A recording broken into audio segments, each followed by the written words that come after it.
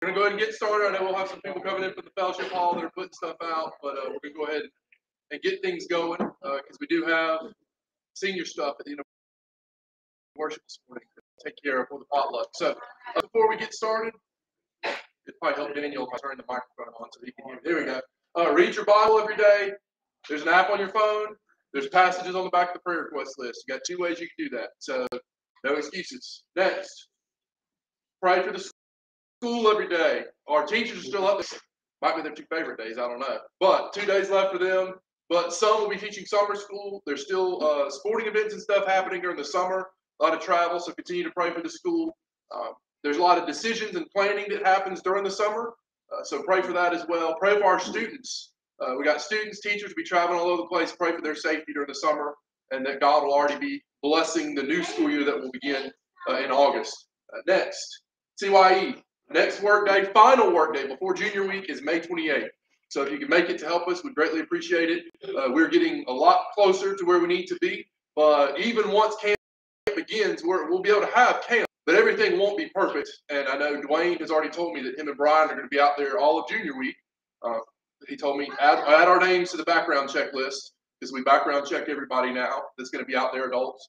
And he said, right, our names because we're going to be out there all junior week uh, working on stuff, uh, you know, piddling here there just to try to get things back where they need to be. But Saturday, we're going to be out there last designated scheduled work day. Now, if you want to go on a day that's not the 28th, I'll give you Dwayne's number. He'll be happy to, to set it up and tell you what he needs done out there. He's out there a whole bunch.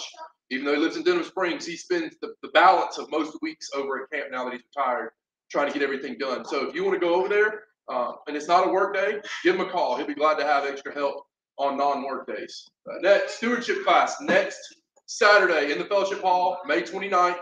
Uh, we're going to be talking about debt. I know that's a fun topic, but uh, something that you need to prepare yourself on how to manage the, the money that God gives you, the resources God gives you. So that's going to be next Sunday after church in the fellowship hall. Also mentioned there's a going to be a singing at Cypress at two o'clock. Uh, I'm gonna we'll, usually we're done by 1.30, usually 1.15, 1.30. So I'm gonna try to make it to that.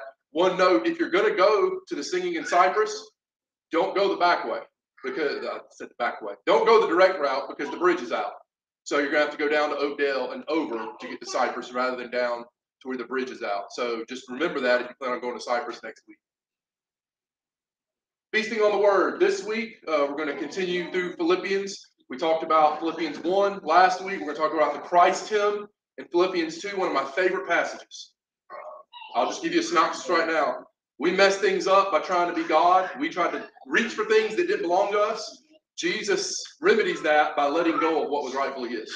Uh, did not consider equality with God a thing to be grasped, but rather emptied himself uh, it's a beautiful passage. And the reason I call it the Christ hymn is some people think that that was actually uh, what Paul uses there and alludes to is actually a song that was sung in Christian communities early on. But regardless of its origins, it's a beautiful statement about who Christ is. We're going to be looking at that Wednesday. We eat at 6.30, and then we begin our time at 7 o'clock. Senior Sunday, that's today. And we've got our graduates with us, uh, Abby and Ben and Morgan. And so at the end of uh, worship, once we conclude, uh, I want you to stay where you're at. We got a, a slideshow. It's about 10 minutes of life. And then after that, we're going to uh, pray over them. Then we'll move over to the fellowship hall where we have uh, we have some like a display set up, just kind of shows you uh, what their life as a student has been like. And then we oh, we got food too. So uh, we'll, we'll, move over there and eat. but that's today. So today's the day we've chosen to, to celebrate our seniors. next, communion contributions we still got the old way. I'll say the old way. The way that we've been doing it all through COVID, where you can get the individual communion tray uh, servings, or you can put your offering in the, the, the box back there, or we've got the trays the traditional way and the offering plate. So either way you want to give, take communion, but we've got it both ways that people are comfortable doing so. All right, that's all the announcements I have. Before uh, Ben leads us in worship, uh, I'd like for you to stand.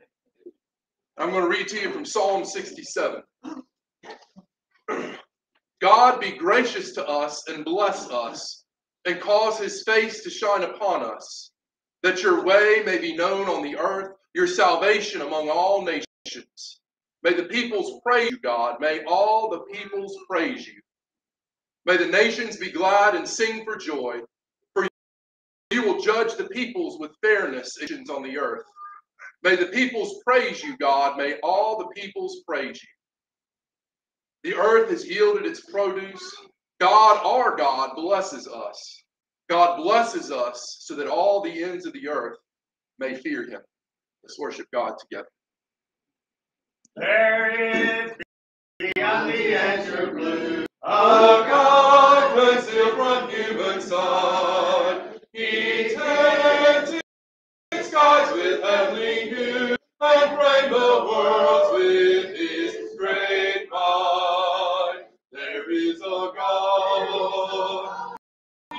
So O Lord, we live, and we serve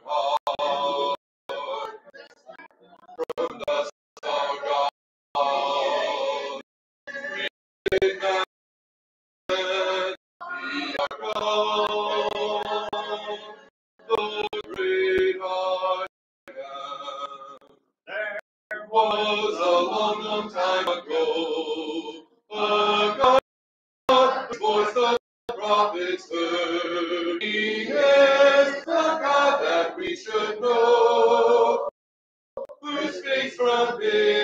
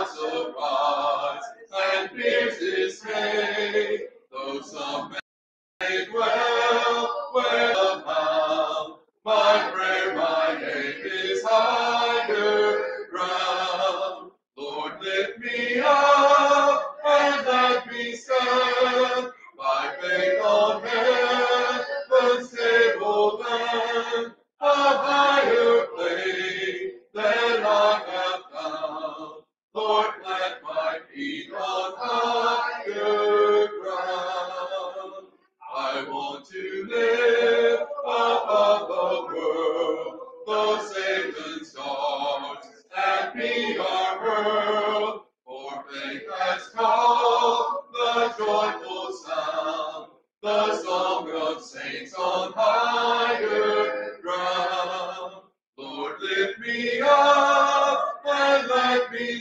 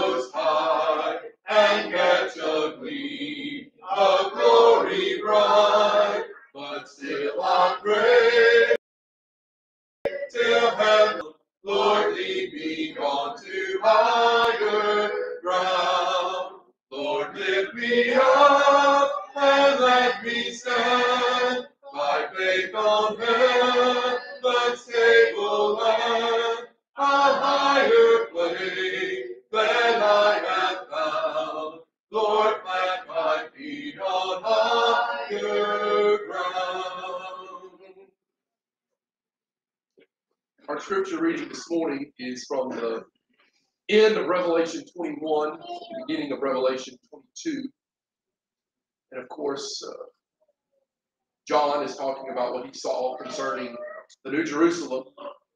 He says, beginning in verse 22, I saw no temple in it, for the Lord God the Almighty and the Lamb are its temple. And the city has no need of the sun or of the moon to shine on it, for the glory of God has illumined it, and its lamp is the Lamb. The nations will walk by its light, and the kings of the earth will bring their glory into it. In the daytime, for there will be no night there, its gates will never be closed, and they will bring the glory and the honor of the nations into it. And nothing unclean, and no one who practices abomination and lying shall ever come into it, but only those whose names are written in the Lamb's book of life. And he showed me a river of the water of life, clear as crystal, coming from the throne of God and of the Lamb, in the middle of its street. On either side of the river was the tree of life, bearing twelve kinds of fruit, yielding its fruit every month. And the leaves of the tree were for the healing of the nations. There will no longer be any curse, and the throne of God and of the Lamb will be in it, and his bondservants will serve him, and they will see his face, and his name will be on their foreheads. And there will no longer be any night, and they will not have need of the light of a lamp nor the light of the sun, because the Lord God will illuminate them, and they will reign forever and ever. When faith Like a river attendeth my way, when sorrows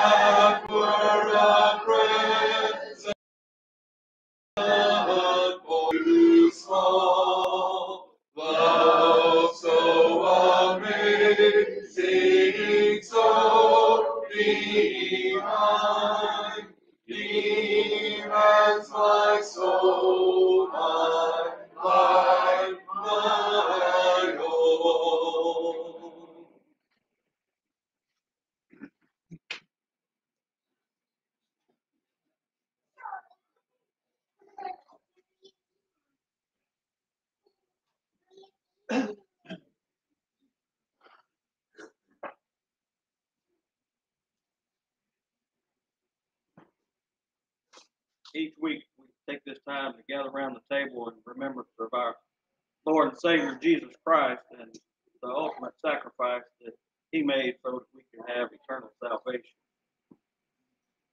We take the, the emblem, the bread, which represents His broken body, and the cup, which represents His blood. You bow with me, I'll give it. I for the love. Father in heaven, we again thank you for this time, Lord, that we have to gather around this table in remembrance of your Son, Jesus Christ second.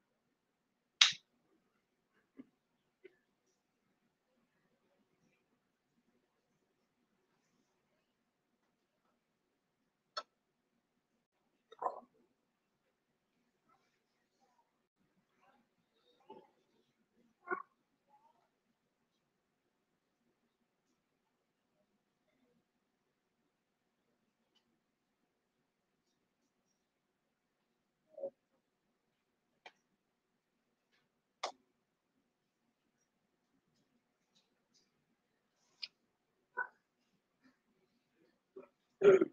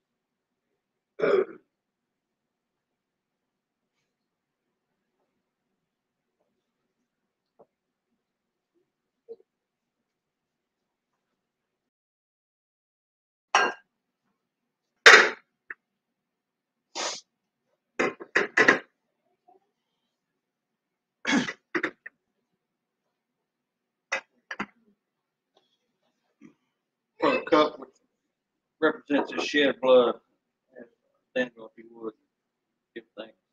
Our demonstration, Heavenly Father, thank you for this day that we can come listen to your word, Heavenly Father. and Thank you for your son who paid the ultimate sacrifice, uh, down, uh, down the cross to wipe away our sins. Uh, bless this cup represents his blood that was shed on, on the cross. In his gracious and holy name. Amen.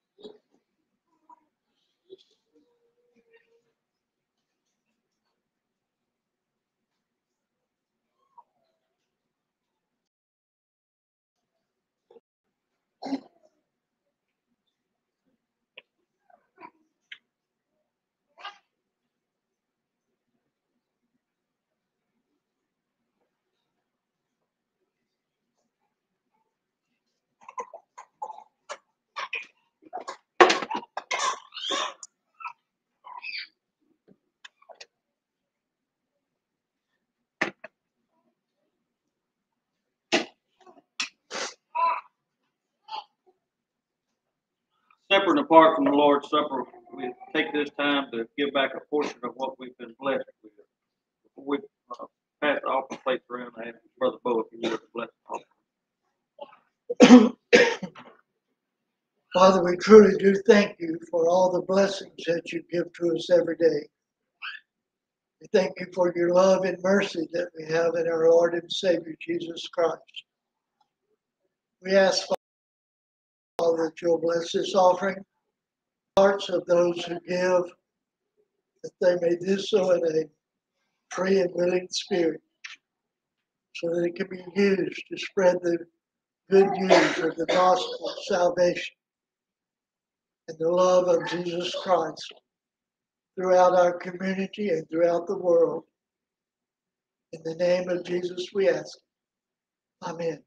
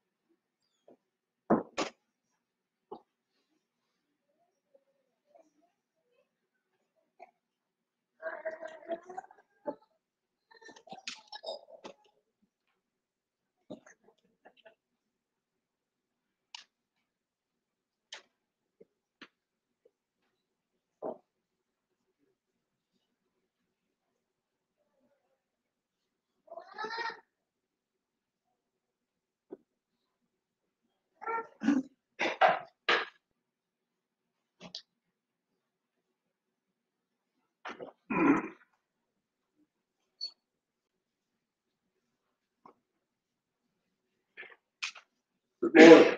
Morning. Morning. Good to see everyone out this morning. Uh, Before we get into our prayer request, let's go ahead and dismiss the kids, seven and under for the children's only.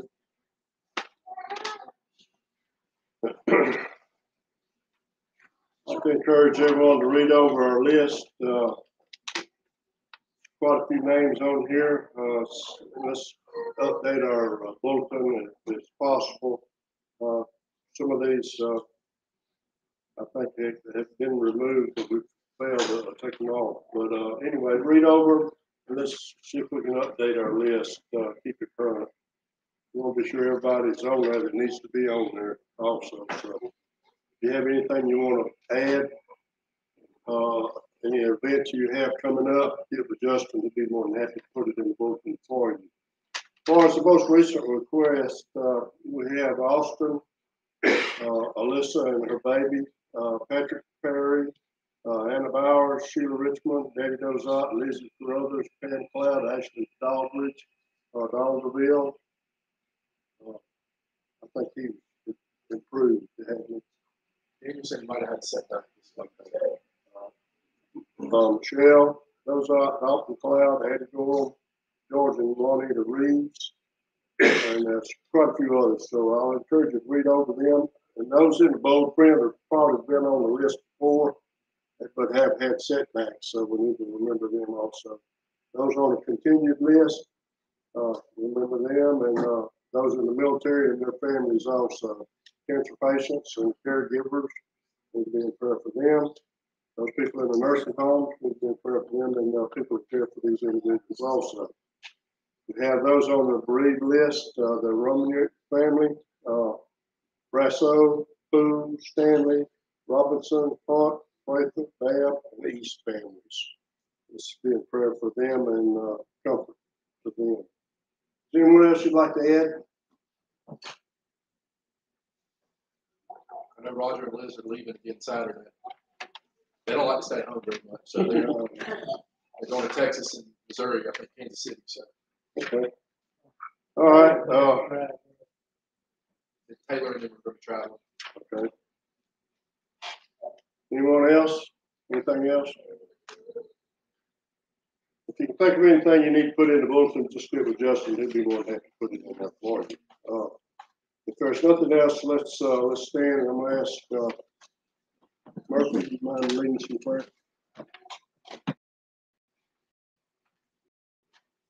Thank you for the House of the Lord. You those, thank you for we today. Help, the families, families. passed away. We live in the time of second. All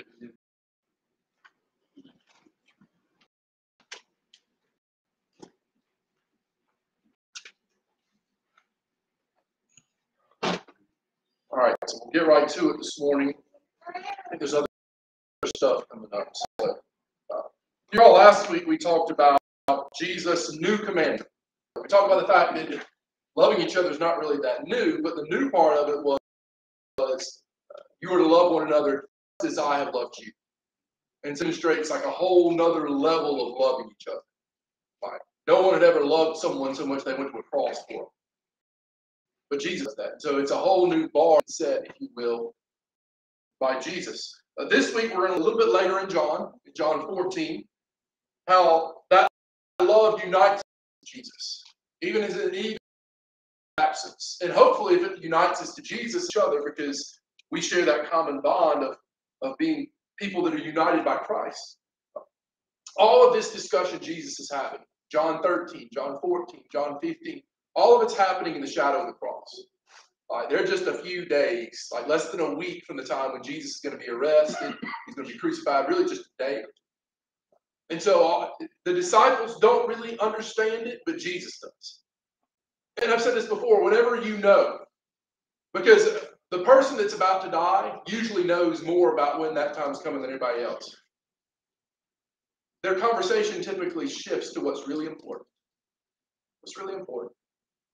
I remember, uh, Bo, you might have been with me. We went and visited uh, Brother Ed one time, Grant Ham. He was up in the VA in the nursing home, and he he wasn't long for this earth.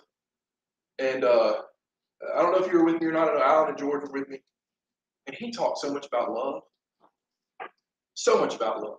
And it, the thing is, it's not that he loved and didn't know about love before that, but here he saw so clearly. He shared it, but he said, "I see so clearly how important love is." And Jesus, he, he's about to leave them, and so what does he want them to understand? He, he wants them to understand that love is what's going to uh, to draw them together. I, I was reading this passage, y'all. This sometimes happens because Melissa will tell you if I get if I hear a phrase, I can come up with a song. Like someone will say something and I just start singing this. I could be country, rock, it don't matter. Like if, it, if it's a, I associate songs. And so I was reading this passage, and for some reason, Captain and Tennille kept playing in my head. You know, love will keep us together. I never even seen Captain and Tennille. I didn't know. I just had to Google it, and then I saw this weird dude in like a sailor's cap at a piano, and he was playing two pianos at the same time. It was impressive. But that song was just kept playing in my head. Love will keep us together. And really, the song, of course, is about romantic love and how there will be temptations and you're going to be tempted to look at, but love is going to be the thing that keeps us together. And that's true, romantic. In marriages and stuff, it's not that there's not temptations us together, but that's also especially true spiritual. It's not just romantic love; it's it's real, selfless love that keeps us committed to each other. And Jesus wants them to understand that because he's about to leave them. That whole phrase, absence makes the heart grow fonder, that's about to be put to the test. He's going to leave them twice. First, he's going to be killed. And so he's going to he's going to leave them through death. Then he's going to be resurrected only to share with them, by the way, not going to be here very long, because he's going to ascend to the Father. So twice in a very short period of time, the person that lives for that they've committed themselves to following is going to leave. What's that going to do to the relationship? Now, this is relevant for us because we've never been able to walk physically in the presence of Jesus as they did. So, how do they have to adjust? How do we need to orient ourselves in order to be able to stay united with Christ? How will love keep us together? When you read in verses 23 and 24 of John 14, it says, Jesus answered and said to them, If anyone loves me, he will follow my word, and my Father will love him, and he will come to him and make our dwelling with him. The one who does not love me does not follow my words, and the word which you hear is not mine, but the Father's who sent me. Jesus is saying, listen, love that if you really love me, you're going to listen to what I say. You're going to care about my opinion on things. Even when Jesus is gone, they can still show how much they love him by doing what he asked them to do. Any of y'all ever, you got kids and you leave the house and you say, hey, I got to go somewhere. When I come back, I want this, this, and this done. And then you show back up and it's always done, right? Don't worry, that don't mean the kids don't love you. But Jesus is going to be gone. And whether they listen to what he says and do what he asks in his absence, that's going to be a, lo- a big determining factor in, in whether or not they really love him. When he writes a letter to some Christians, uh, John, the same John who's writing the gospel here, he says, By this we know that we have come to know him if we keep his commandments. The one who says, I have come to know him and does not keep his commandments is a liar, and the truth is not in him. But whoever follows his word, in him the love of God has truly been perfected. By this we know that we are in him. The one who says that he remains in him ought himself also walk just as he walked. You know, we don't need to make it too complex. Keeps his commandments. What's the commandment Jesus said? A new commandment that I give you that you love one another just as I have loved you. And so if you really love Jesus, even in his absence, you're going to keep his commandments. You're going to you're going to be determined to love other people and to love God. I mean, has there has there ever been a time in our lives where someone they leave us physically speaking and we say, Well, I don't love that person anymore? Some of y'all's parents have been gone a long time, decades. And I know for a fact you still care very much about what they taught you. And there's still times that you draw on their wisdom. And you think about the fact that this, my mother or father would be pleased with this, or they would not be pleased with this. Because you didn't put them in the grave and then say, well, I don't care anymore about what they think. No, they're absent from you for a little while, but you still care. You still care very much. I was 300 something miles away in college and I cared. You think I wanted them to have to call back home and say, come get your heathen? He can't behave? I mean, I was absent from them, but I still in my mind thought what I do reflects on my parents, even more so reflects on God. I ain't saying I was perfect, y'all. But what I'm saying is that was in my mind. Because even though they weren't standing right there by me, I very much cared what they wanted me to do, how they wanted me to live my life. And so the physical presence of Jesus isn't necessary for us to have a relationship with him. All we got to do is act as he wants us to act, act like him. That you love one another even as I have loved you. You know, this is the only place in the whole New Testament where it says that the Father and the Son are going to dwell in a believer. It's a unique, it's a unique statement. In Revelation 3, verse 20, Behold, I stand at the door and knock. If anyone hears my voice and opens the door, I will come in to him and will dine with him and he with me. I can't help but think of uh, my grandmother had a, it was a painting, but it almost like a hologram of Jesus standing outside a little cottage and knocking on a door. And she had it on her dresser in, in her bedroom. And I didn't know what it was at first. And then I read that passage one day and I said, that's what that painting is. That grandma's got on her on her nightstand, on her dresser. It's a painting of Jesus knocking. And what does it mean? Obviously, we know Jesus doesn't physically jump into our hearts. Kind of like Nicodemus in John 3. How can a man be born again? Nicodemus, it ain't literal. It means that Jesus' spirit is within us if we love as Jesus loved. In 1 John chapter 4, it says, No one has ever seen God. If we love one another, God remains in us, and his love is perfected in us. And then later in verse 16, we have come to know and have believed the love which God has for us. God is love. And the one who remains in love remains in God, and God remains in him. You know, Augustine wrote, Love separates the saints from the world. Wouldn't it be great if we made that truth? Wouldn't it be great if people could look at it and say, well, them people are acting real different, but in a good way? They must believe in that Jesus. Sadly, we don't live up to that statement. Sadly, sometimes we get down in the mud just like everybody else. But if we truly care about who Jesus is and what he wants us to be and how he wants us to live, then what Augustine says should be true. Love separates saints from the world. How did Jesus say that they'll know we're Christians? He said, They will know you are my disciples by your love. By your love. And so, caring about what Jesus wants us to do is one way that love keeps us together. Keep reading in verses 25 and 26. These things I've spoken to you while remaining with you, but the Helper, the Holy Spirit, whom the Father will send in my name. He will teach you all things and remind you of all that I said to you. Now, one of the ways that love keeps us together is that we're able to accept help from Christ. Christ says, Listen, I'm not going to leave you by yourself, clueless. He says, When I leave, I'm going to send someone else. There's going to be a helper. That phrase in the, the original language, it literally means one called to the side. Anyone ever face something and it just feels like you're standing there by yourself alone? Jesus says, My followers won't have to worry about that. You might physically be alone, but there's going to be one standing beside you, so to speak, a helper, the Holy Spirit. You know, there's an observation someone made, and I never thought about like this. In, in Scripture, the Father, God, always does the sending. Jesus, sometimes Scripture he, Jesus refers to himself, the Father sent me. So he's been sent by the Father.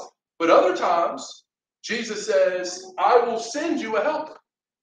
Jesus is both the one that sent, but he also sometimes sends. The Holy Spirit never is said to send. It's just the one that sent.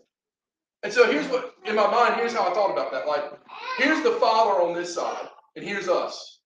And y'all probably seen cartoons or drawings like this, and there's a big gulf in between us.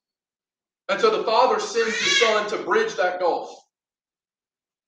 Jesus is literally the bridge between us and the Father.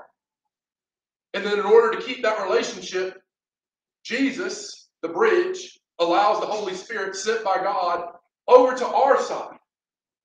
So that when it's all said and done, once you give yourself to Christ, it's the Father on one side, it's you and the Holy Spirit on the other, and Jesus is the bridge between the two.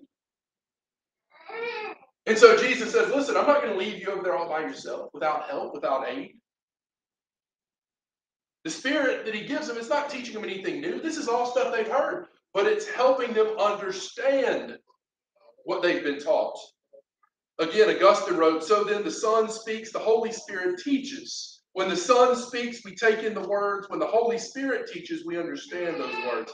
Any of y'all, some of y'all might have forgotten these moments you had. Any of you younger people that have still been in school, any of y'all had other moments where you've been listening to the teacher over and over and over again, and finally it clicks? Maverick says no, he hasn't had this moment. Sorry, Maverick. But one day you might. Um, I won't ask what you're going to school for, so we can avoid that.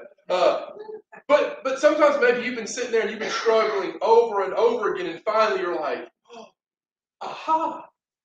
Not because you haven't been told over and over and over again, but something kind of got you over the hump where you realize, oh, okay. For a lot of you, it's when they started throwing letters in math. Any of y'all felt like that wasn't fair? Like you felt like, okay, I'm good with the with the numbers. Now you're throwing letters into it, you're just like, yeah, don't worry, you ain't there yet, Matt. Matt's just like, what? Letters are going to be in math? Uh, and, and, you're like, what does this mean? And then slowly you start to get it. Like, why are they throwing an X in there? This ain't English class. And then eventually you realize, oh, like the 57th time, it finally clicks. The knowledge that you've been receiving the whole time, you finally get it. Jesus says that's what the Holy Spirit's going to do. And there's examples of this in Scripture. In John, Jesus said, tear this temple down and it'll be rebuilt in three days. And they're like, well, that don't make any sense. We've been working on this temple for 40 years, and how are you going to tear it down and be? But then the scripture says in John 2 22, so when he was raised from the dead, his disciples remembered that he said this, and they believed the scriptures and the word which Jesus had spoken. Now, what else happened when Jesus rose from the dead? He breathed the Holy Spirit on all of a sudden the things that Jesus had said, the, the, the sayings that were in their head that were just rattling around making no sense, after they received the Spirit, they all started coming together. In John 13, Jesus answered and said to him, What I am doing, you do not realize now, but you'll understand later. But you'll understand later. There's a, a fellow way, way longer named Basil the Great Here's what he wrote about the Spirit. And I like this. He said, The Spirit is simple in being, His powers are many.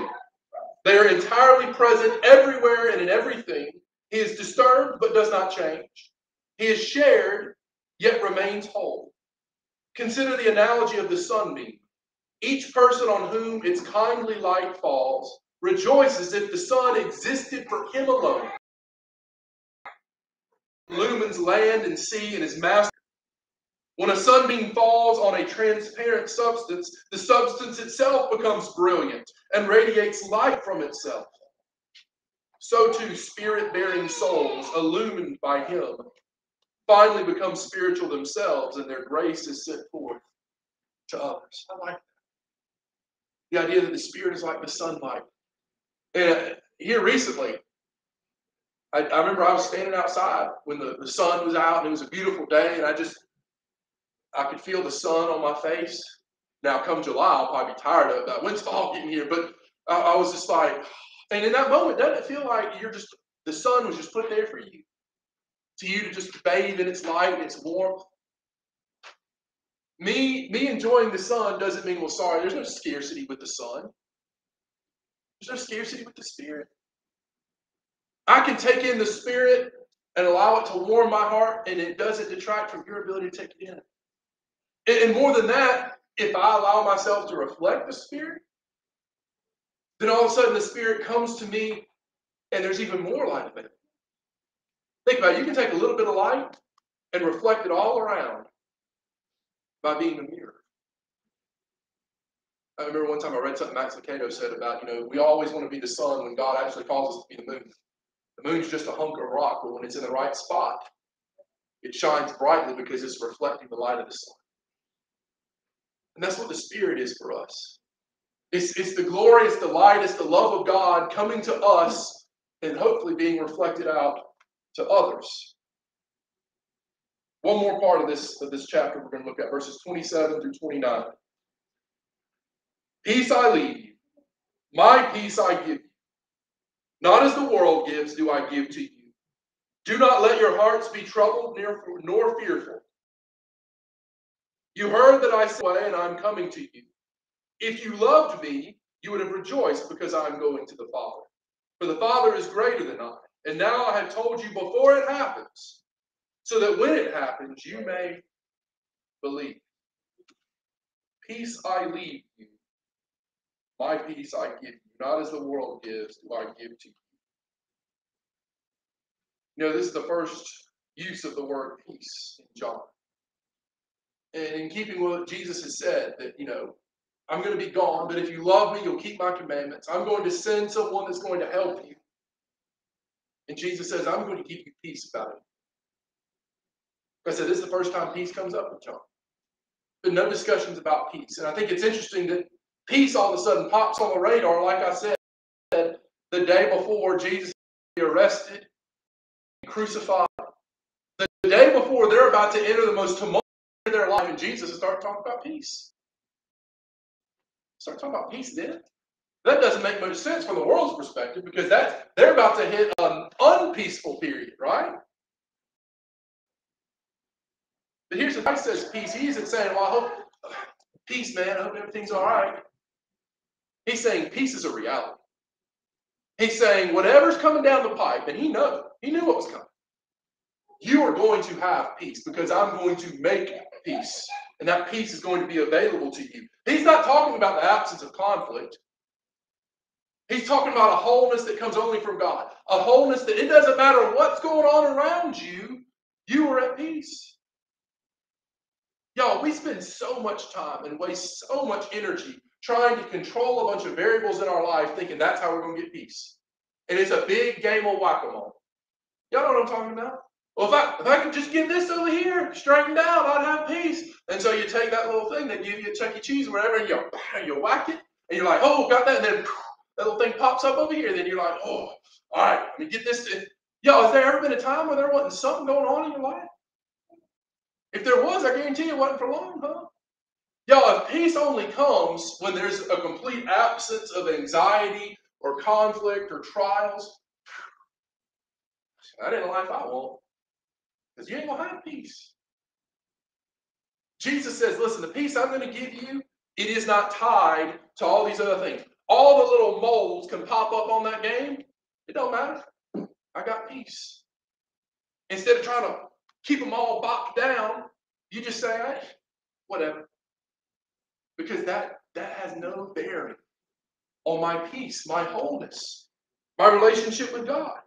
You know, if you go to Rome to this day, there's still a, an altar to Pax Romana, the Roman peace.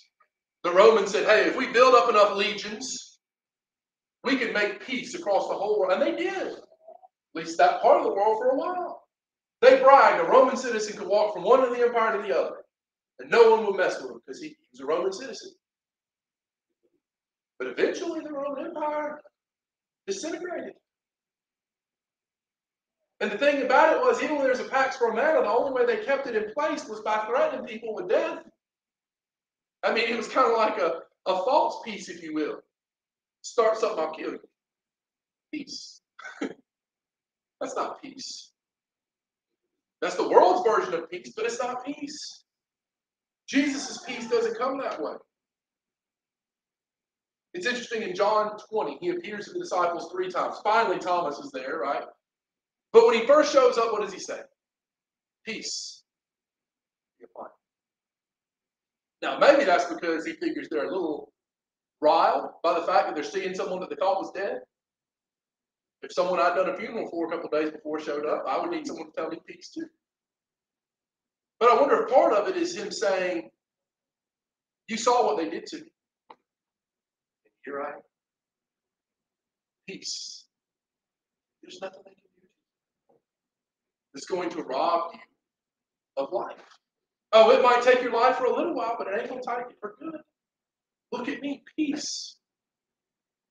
Paul says this to the churches that he works with in Philippians. He says, Rejoice in the Lord always. Again, I will say, Rejoice. Let your gentle spirit be known to all people. The Lord is near. Do not be anxious about anything, but in everything, by prayer and pleading, with thanksgiving, let your requests be made known to God. And the peace of God, which surpasses all comprehension, will guard your hearts and minds in Christ Jesus all those little moles that pop up that we keep trying to, you just say, Lord, handle these things. And you allow that peace that comes from God to guard. I love that that I love that image. Our hearts that sometimes can be so upset by all the things going on around us. I just see the peace of Christ guarding it, saying, no temporary trial is going to rob them of their joy of their peace. He says it to the Colossians as well. He says, in addition to all these things, put on love. Talk about that, right? Love is what keeps us together. He says, which is the perfect bond of unity. Let the peace of Christ, to which you are indeed called in one body, rule in your hearts and be thankful. Let peace rule in your hearts.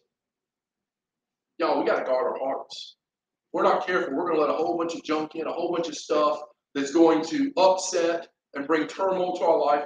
Paul says, Jesus went to the cross. He achieved your eternal salvation. How can you not be at peace? Let peace rule in your heart. The beauty of Christ is that because of Christ, together. But that's only if you determine you're not going to be a slave to circumstance. You can be a slave to circumstance and say, Well, I'll have peace when I get all this stuff straightened out. Or you can say, Because of what Christ has done, I'm going to take his word seriously. I'm going to receive his help in the form of the Holy Spirit, and I'm going to receive his peace. You know, I think about we got graduates here that we're celebrating, four of them. You're about to go out into the world and got to make a whole bunch of decisions. Maybe you'll stay close to home. Maybe you'll go far away. There's going to be a whole bunch of things that are going to try to This is what you need to feel whole in life. And they're mirages. They're mirages. Ask people here who have been down those roads, who've tried to find peace and wholeness on it. They're mirages. You can you got to make a decision now. Trust me, it's easier now than get down the road further. That you're not going to be a slave to circumstance. My peace is not going to be determined by whether or not I get this job or get into this school or have this relationship or have this car. All that stuff. It's nice, but that stuff can't bring you peace because it's temporary. Jobs are temporary. School, temporary. Relationships, temporary. You might meet your soulmate and live for 50, but one of you is going to leave this earth before the other one. Is your peace going to leave at that moment? It's not that those things are bad, but you cannot find peace. Do not tie your peace to circumstance. Now you can have the whole world and not have Christ, and you ain't gonna have peace. In many ways, you'll, you'll have nothing. Or you can have nothing with Jesus and be completely. Which one are you going to choose? Let's pray. Father, we are grateful for your Son, Jesus Christ. Father, with all the people in this room, there's so many things that cause us anxiety, so many things that are trials and things that we're forced to overcome in this life, and it's so easy for all of us to be fooled into thinking that we have to have no challenges, no anxiety in our peace. Father, remind us that the, the one thing that's the most important of all, our relationship with you, that your son Jesus took care of that. And because of that, we can have peace. Father, that even in Christ's absence from us, that love holds us together. And so, Father, we ask that you will give us the ability to attend to the will of Jesus in our lives. Father, help us to love just as he's instructed us to love. Father, help us to receive the help that he gives us in the form of your Spirit.